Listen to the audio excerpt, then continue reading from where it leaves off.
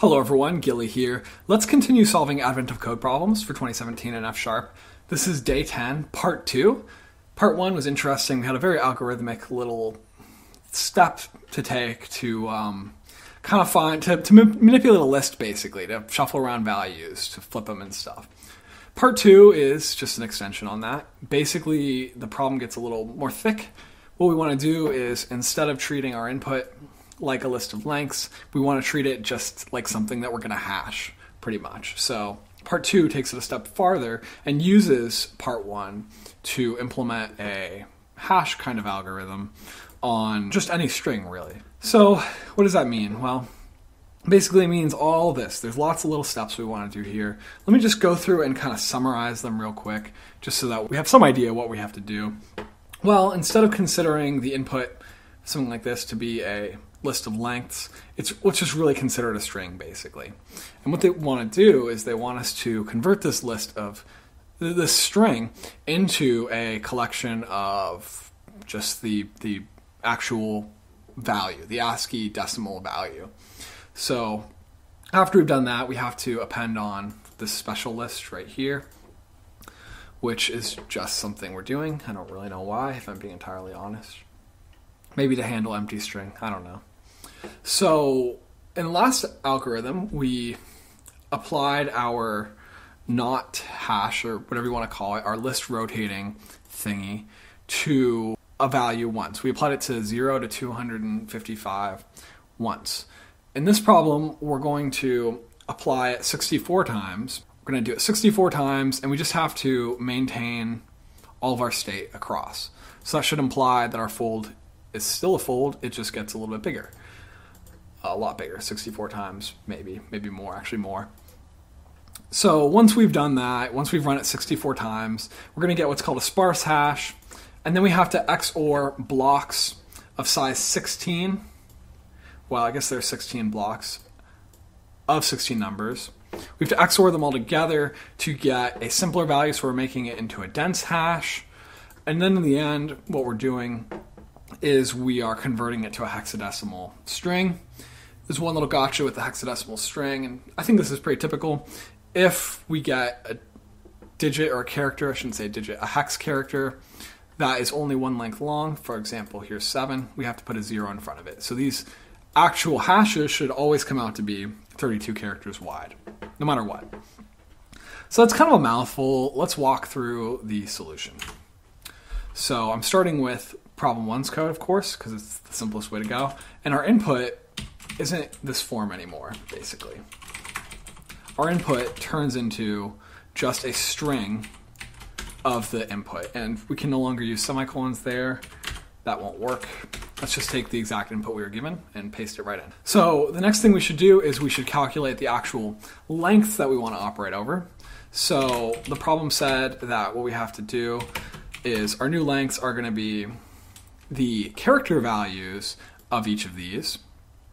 So what is the actual decimal character value of this, then the decimal character value of that. Well, to do that, we can use Seq.map int over input.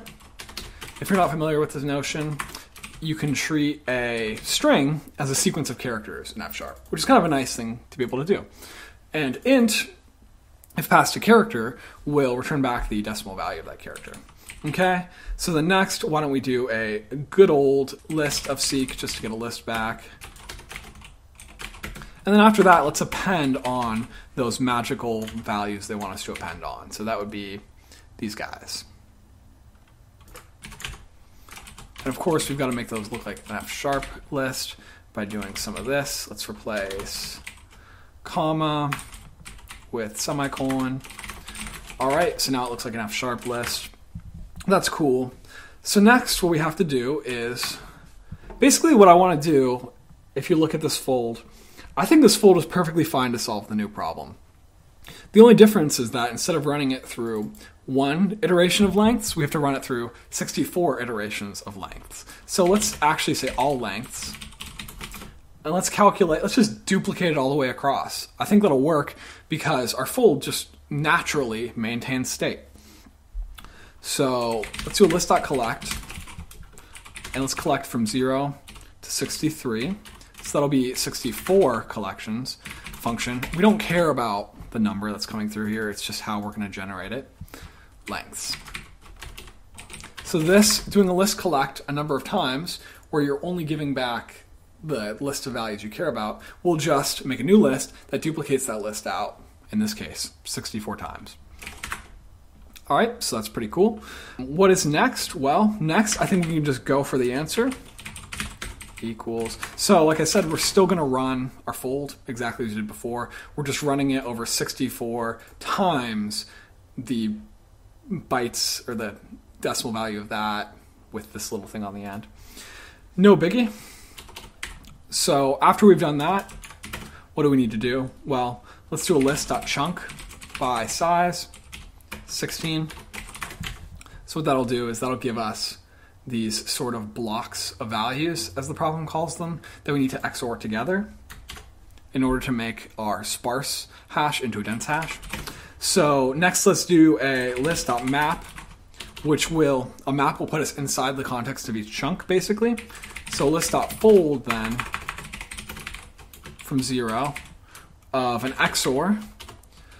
So that will make our our list of blocks into a list of values, which will be the fold of the XOR. So we're just going to combine them all together, XORing them together. Next, let's do a list.map. What we want to do here is we want to do a printf, but we want to do an x, which will give us the hexadecimal value, the lowercase hexadecimal. And this is a little gotcha. I'm going to throw a function on the end which just says a pad if it has to. I'll actually call pad hex. And then the end, let's do a string.concat on space. And of course, we've got to print out our answer. There's actually going to be a string, so let's do percent %s. And then let's quickly write a little pad function, padding x. Well, what do we want to do? If we have string.length of x, if we got a 1 back, well, we've got to put a zero in front of it. Oop, don't want an n on that. If we got anything else back, hex characters are always going to be, in this particular problem, one or two characters wide, so we can just keep x around. And I think that's it. Let's run this and see how we did. And it looks like I have another classic error, 4826. Oh, this has to be not input, but all lengths. Duh. We've got to run it over our 64 iterations. Okay, and I said pad, but I meant pad hex. And we get back 2F8, C3, D2, blah, blah, blah, blah, blah, which, checking with my sheet, looks like the correct answer.